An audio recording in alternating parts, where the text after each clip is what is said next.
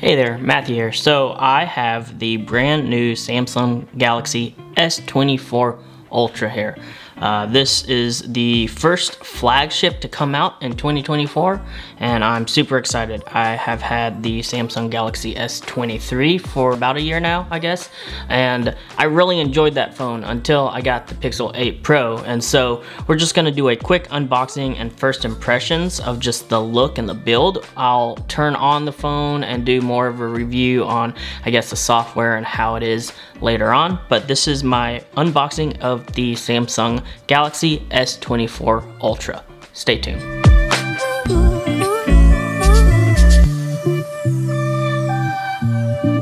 I'm gonna make several comparisons to last year's Samsung S flagship, the Samsung Galaxy S23 Ultra. So just be aware and be prepared for a little bit of comparisons, I guess, especially when it comes to the build and how it looks, the design.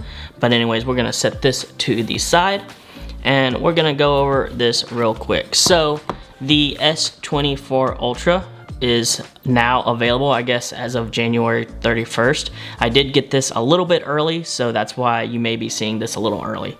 So this actually retails for $100 more starting off than the previous generation, the Samsung Galaxy S23 Ultra, at a starting price of $1,299, and then it moves up to $1,419 and then 1659 for the 256 the 512 and the 1 terabyte respectively so just be aware it does get expensive but this is their flagship phone here you do have several different colors here. Um, I do have the violet color. I decided to go with something a little violet. Last year I went with the very, very bright red, I guess you could call this red. It's it's a weird color red, but um, and so I kind of went with I guess a subtle version and with the violet, but you do have some Samsung exclusive colors. So you do get titanium green, titanium blue, and then also a titanium orange, which are pretty cool. They're Samsung exclusive, so you won't find them in stores. But then you also have the violet color, which I have here. You have the titanium yellow, titanium black, and titanium gray. Um, all those colors are really cool. I decided to forego the Samsung exclusive colors because I did kind of like that violet color. This is available for all major US carriers, so just be aware of that. Uh, let's go ahead and just quickly uh, cut the, at least cut the seal here, and then we'll talk a little bit more about this phone. So I'm gonna cut this. There we go. And I'm gonna cut this here. There we go. And then you do get this right here. So here we go. And just be aware there is a little box in the top of the phone itself or the the box box on top of the box of the lid. So again quick start guide from AT&T so that right there is going to be AT&T exclusive. I'm not used to that. I usually get the unbox uh, unlocked versions. Um, but then you do get a USB-C to USB-C um, cable right here. It's fairly it's it's nice. Um, I do use other cables. And then uh, you do get a, I guess, an AT&T SIM card if you want to, I guess, uh, activate a new SIM card, but I'm just gonna take my SIM card out of my previous phone and put it in this phone. So there is that. But that's what you get in the top lid box of the box, I guess you could call it. But we'll move that here. And then here you see we do have the phone itself. Uh, very, very nice. I don't know if you can see that. Yeah, there it is that purple, whereas this is a little bit more bright, but there you go, right there. Um, and you can see a little subtle difference. We'll kind of go over that in a minute. Uh, here's the phone, so let's just quickly listen.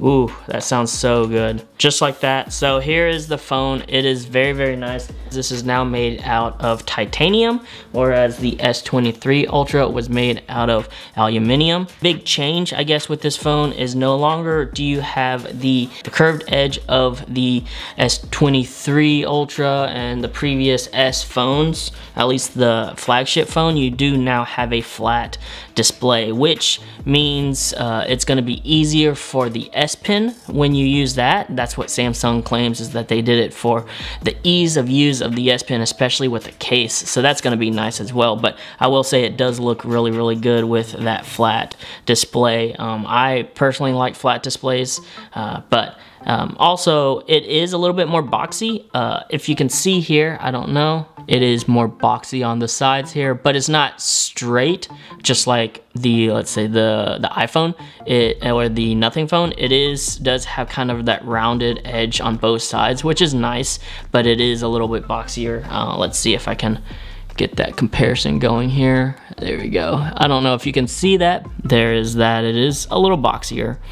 You do get four lenses with this phone. You do have a 200 megapixel wide angle lens, which is gonna be your primary lens. You do get a 12 megapixel ultra wide lens. You do get a 50 megapixel five times telephoto lens, which is different than last year. Uh, last year you, you got that 10 times telephoto, but I think uh, last year's was a 10 megapixel at 10 uh, times. Then you get a 10 uh, megapixel three times telephoto lens. And then the front has the 12 megapixel front facing lens right here. I'm super excited for this phone. This one, again, is violet, but it has a little bit of that, I don't know, it's, it's kind of a goldish accent, which is really, really nice. I wouldn't I, I, want to say that I think the camera butt might be is a little bit bigger as you can see here I don't know let's see you might be able to see the camera bump is bigger on the S24 Ultra but this does house a little bit more powerful a little bit larger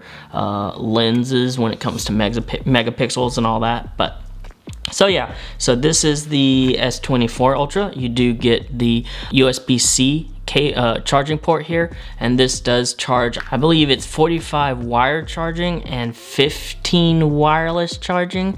Don't quote me on that. So uh, sadly uh, Samsung chose to opt out of the Qi 2 uh, wireless charging standard which I was really hoping they would be able they would do.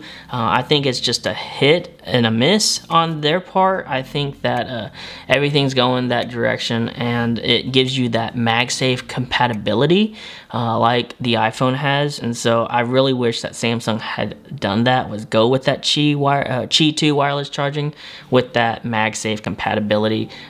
This does have a 5,000 milliamp hour battery, so it's about it's the same size as last year's flagship, the S23 Ultra. You do get your uh, S Pen slot right here, which I don't know, maybe the S Pen looks a little bit flatter too.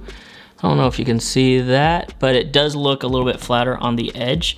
So that's really nice. The speaker grill right here is a little bit different. No longer do you have this kind of perforated edge right here. You actually do get just a slot for your speaker grill.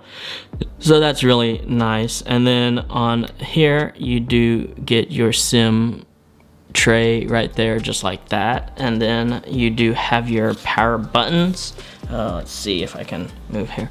You get your power button here just like on the S23 Ultra. You get your volume rocker right there as well. I'm super excited to uh, use this phone. Um, I've kind of been waiting. I, I, really again really enjoyed the S23 Ultra. Um, I like the size. It's a 6.8 inch screen like this one. And so uh, it, I was super excited. This does have that super AMOLED display which is really really nice. This does come with the Qualcomm Snapdragon 8 Gen 3 for Galaxy whereas last year's had the Gen 2 for Galaxy. So you should be able to see uh, a little bit of uh, bump in performance with this versus that. And then uh, the RAM options, last year you had an 8 gigabyte option and a 12 gigabyte option. This year you only have the 12 gigabyte option. This has been my Samsung Galaxy S24 Ultra unboxing. Um, if you liked this video, give it a thumbs up. If you want to see more, go ahead and subscribe. Hit that bell icon to be notified when I post another video. Thank you guys, and I'll see you guys in the next one.